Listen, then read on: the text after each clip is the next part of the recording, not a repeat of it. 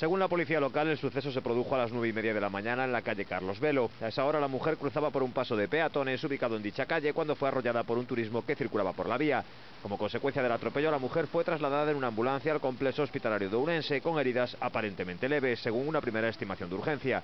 La policía local apunta como principal hipótesis que la mala visibilidad en el momento del suceso, motivada por un vehículo mal estacionado, impidió que tanto la peatón como el conductor del turismo no se percatasen del peligro.